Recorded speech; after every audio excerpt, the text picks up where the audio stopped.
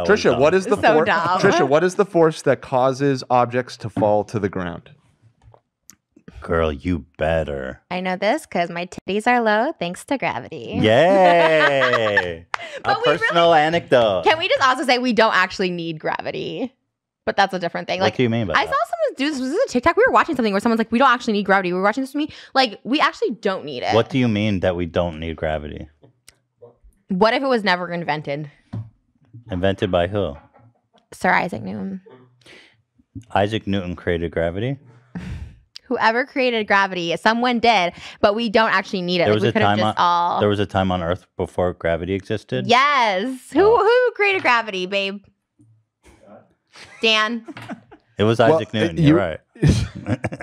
You were in I'm the it. right ballpark. Sir Isaac Newton perhaps uh, first defined and discovered Maybe- gravity. He what do you didn't mean we don't invent need gravity? I'm curious about that we just statement. don't need it. But like, what do you mean? The moon doesn't have gravity. Oh boy. It does.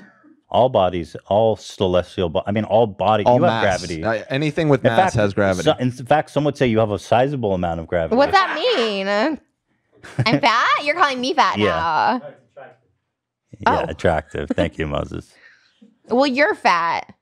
Um, we've got quite a large pay dispute happening with our Australian women's soccer team at the moment. Um, is it frustrating for you as someone who's so prominent in your sport?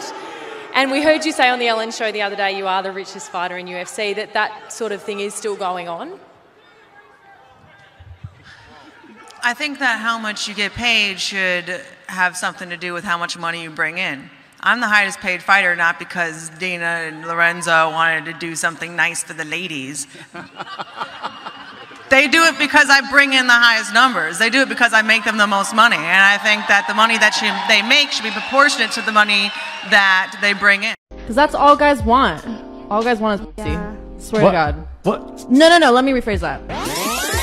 Shitty men want pussy, and that's all they want from you. Hire guys that are worth more, that will benefit your life more. They're not just gonna want pussy from you, and that's a fact. Or could it be that the men that only want sex from women is because that's all that the women have to offer?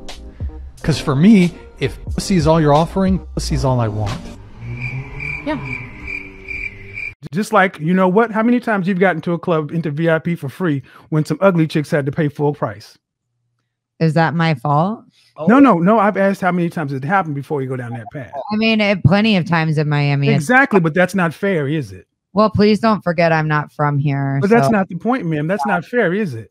I also don't care about those things. But oh, so you only care about fairness when it when it doesn't benefit you. I just don't go to clubs that often. But that's not the point. I asked you how many times you've gone to a club where you got in and free, where ugly chicks or less attractive chicks had to pay, and you know that's happened. You didn't say, "I'm still." Excuse me, sir.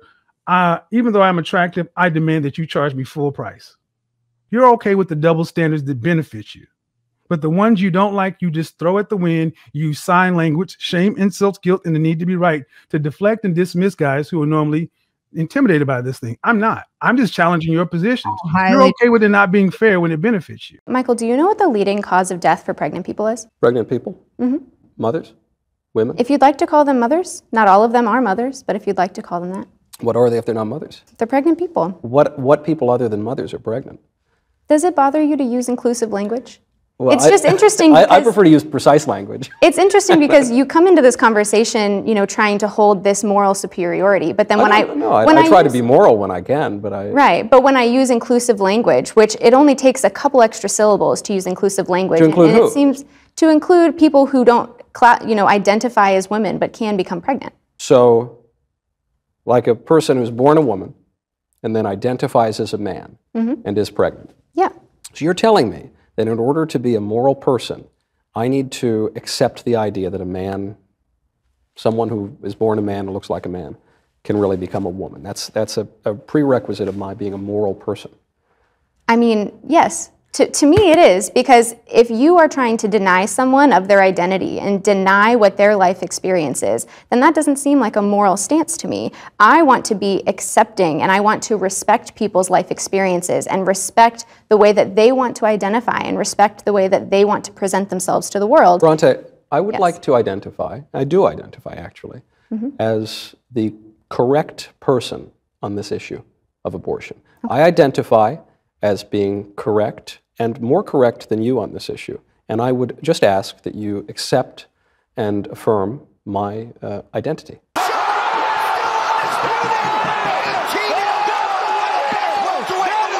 Do you? Well, you are not a medical professional, and abortion and pregnancy No, is a medical my concern. That's not your identity. That is my. id- I promise you, that's my identity. You don't want to get married at all? You don't want a Not family or children? Yes, but in the future, but no now. Well, you're 28, right? Yes. Uh, how when do you want to have kids? 35 maybe. Well, at 35, 90, um, f- from a biological standpoint, at 35 years old, over around 90% of your eggs are gone. And your ability to bring a child to term comes down a lot. I don't think so. I mean- Age is a number.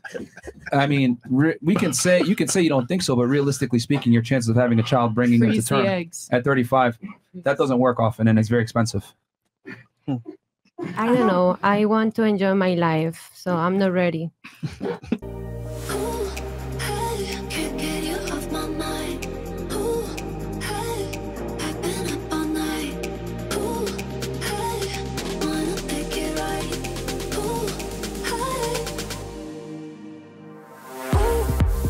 that for teenage boys now, they are so terrified of the uh, consequences of putting a foot out of line. It's hard enough being a young teenager, working out how things are, working out how to do dating and all of that, without the terror that if you touch in the wrong place at the wrong time, you may find that your whole life is destroyed. see, I and there like is that far terror. too much. Well, I, I, I like that. As a I mother think of a teenage boy, I don't like really? that terror. I do. That is awful. I think that men should be frightened I think to you'd touch feel women in a differently that if you they're were, not if comfortable you were. with. But we're talking about Yeah, but we're not talking years, about. We're not talking about. We're talking yeah, about it's an interesting children. thing that you see. I would say that that attitude actually is part of the problem too. It That is is. tox- That's to me toxic femininity. It is. That is saying you should all be terrified, you men, if you put one. assaulting. Well.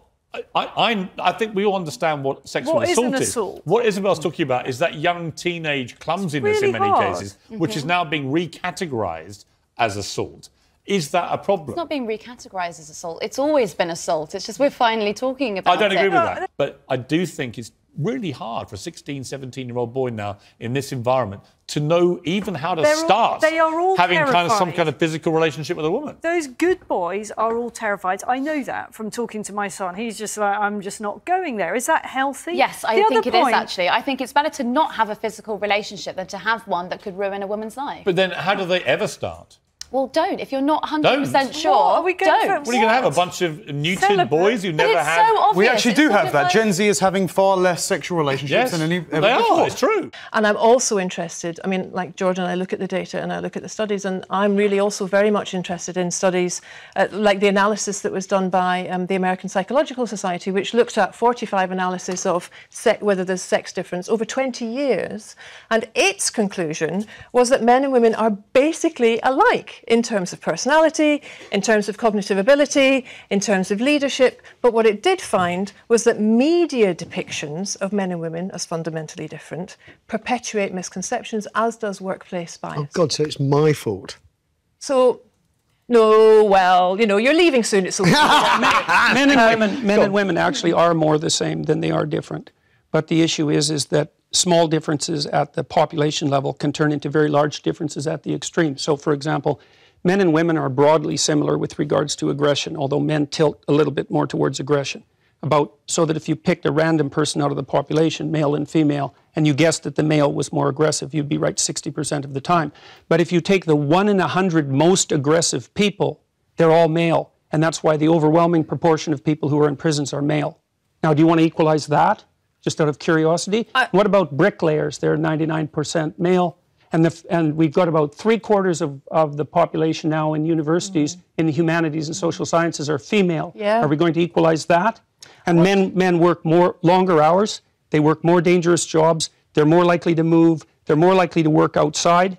They're more likely to participate in jobs in the STEM fields that are scalable. They make more money for those reasons. And that's all hidden under the idea that the reason that men and women make different amounts of money is because of their gender.